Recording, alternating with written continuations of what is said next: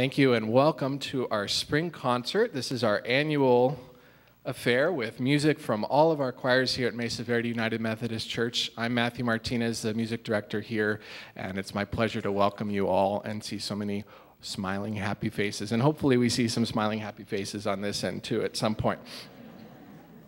Uh, that our opening piece was called Non Nobis Domine. It's based on an ancient uh, poem that says, "Not unto us the glory, O Lord, but only unto you." And Rudyard Kipling uh, took that simple line of Latin text and then made this entire poem in this song in around 1934.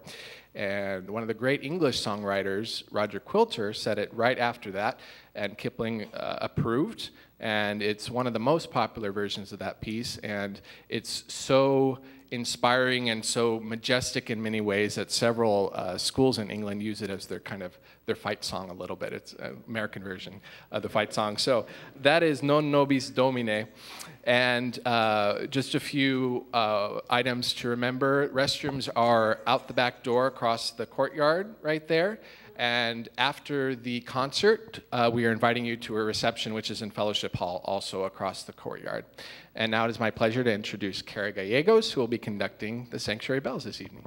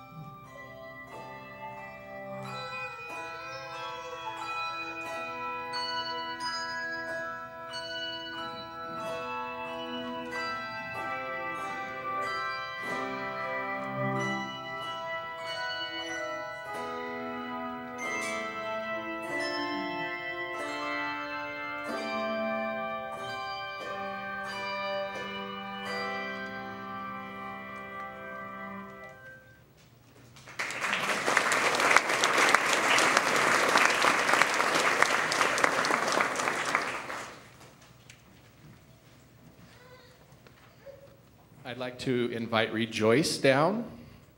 And for those of you who may be seeing us for the first time, Rejoice is our 12, give or take 12 member chamber choir here that's auditioned at Mesa Verde. It's been here long before me and uh, will continue long after me due to the wonderful volunteer talents of all the singers here. And so we have some special pieces to present. And the first one is called Sing Ye Praises by Aaron Copland. And this piece he wrote in 1911, and he wrote it while studying with the famous teacher Nadia Boulanger in Paris. And Copland was probably her most famous student, although she's the most renowned uh, uh, teacher of musicians, teacher of composers, conductors, you name it, one of the most influential teachers of the 20th century. And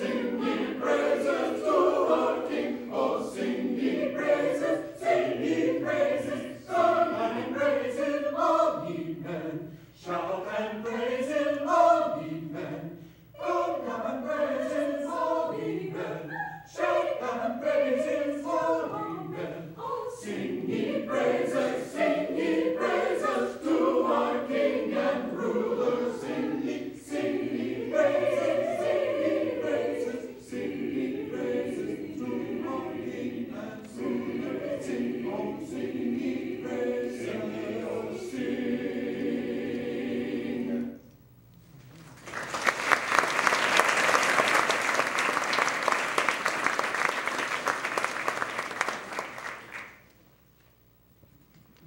Thank you. I should mention that our quartet, a uh, brief quartet on that piece, was sung by Carol Arvidsson, Linda Tenno, Phil Vinard, and Clark Wayenberg. So we appreciate them doing those beautiful Copland lines. Our is Schubert's Psalm 92.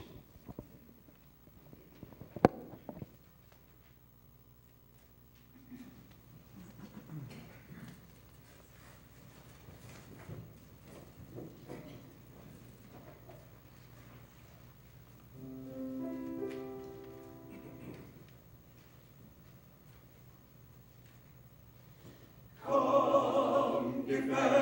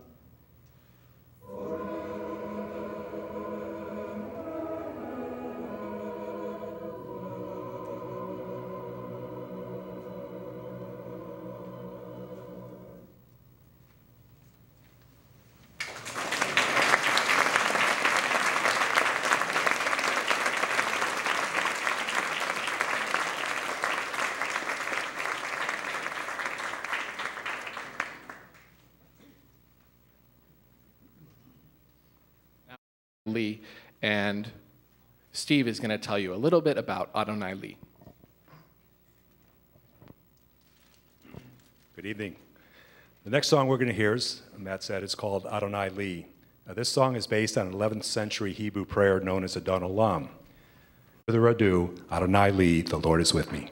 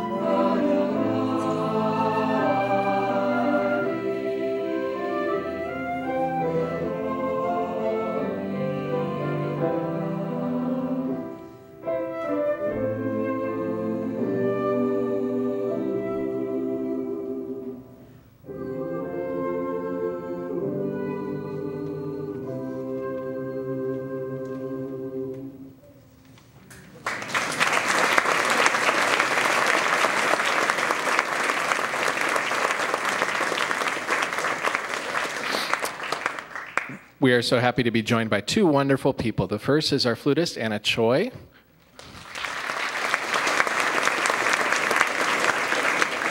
And second is our wonderful accompanist who rehearses with us and performs with us all the time, Nancy Rosen. Thank you, Nancy.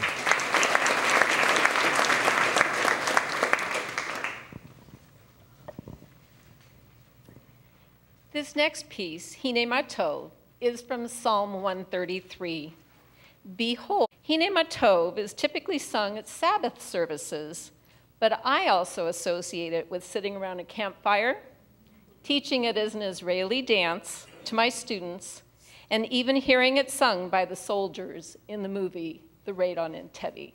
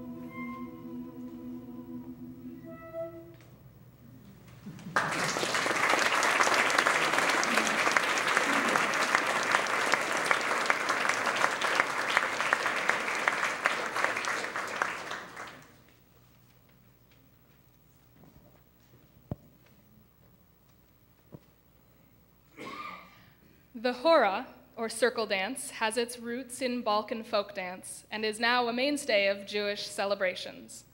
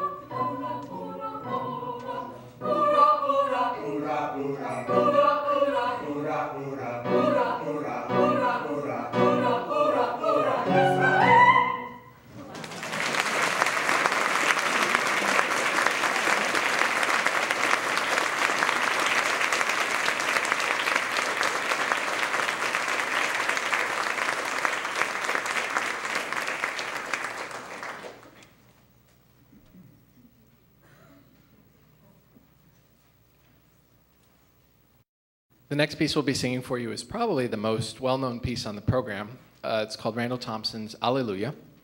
He composed it in 1940 when things weren't so good around the world, to put it mildly, and he was very troubled by this. And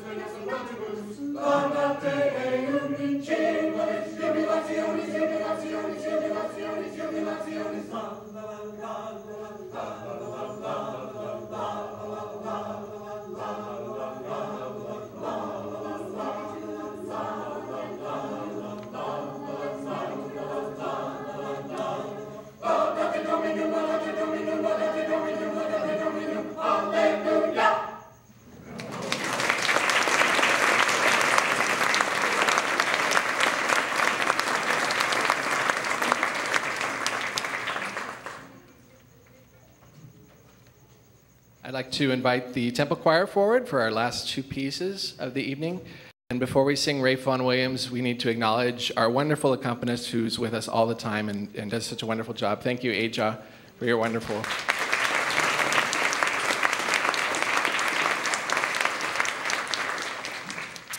Our next piece is uh, Ralph Vaughan Williams' Oh How Amiable. And you'll find, if you, if you haven't heard this piece before, you'll find a pleasant surprise at the end of it, where a very familiar hymn comes and makes, its, uh, makes itself known. That may sound a little bit odd out of context.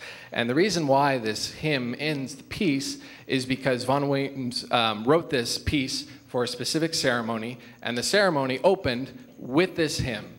And so, being so English that he was, Vaughan Williams, of course, needed the symmetry, symmetry of closing with this hymn that you, will, that you will see. So, here is Ralph Vaughan Williams' Oh, How Amiable.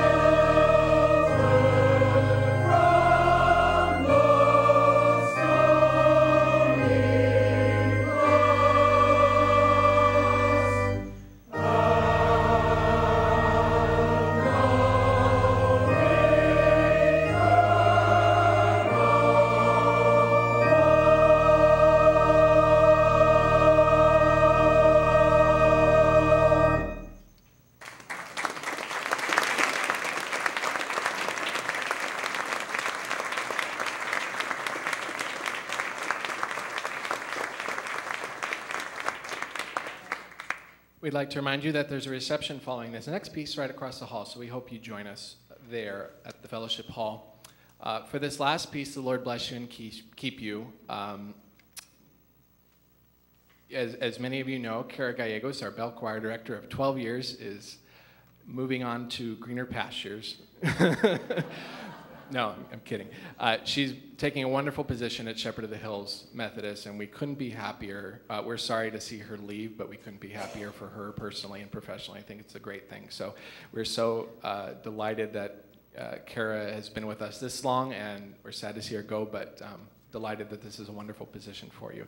So, in, in that vein, um, we've invited her to conduct our final piece, The Lord Bless You and Keep You, and Pastor Brent has a few words he'd like to say.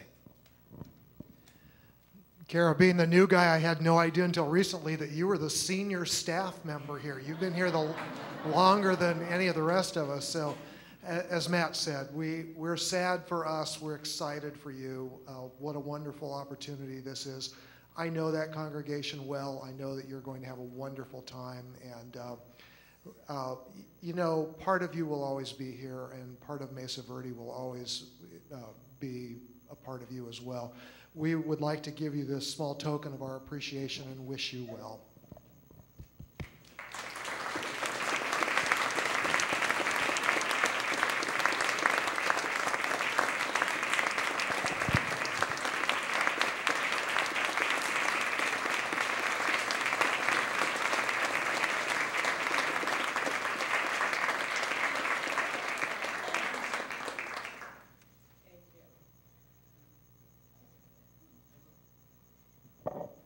I just want to say, you know, how much I appreciate the foundation that this church and congregation has given me over the past 12 years. I'm not going to cry yet, I promise.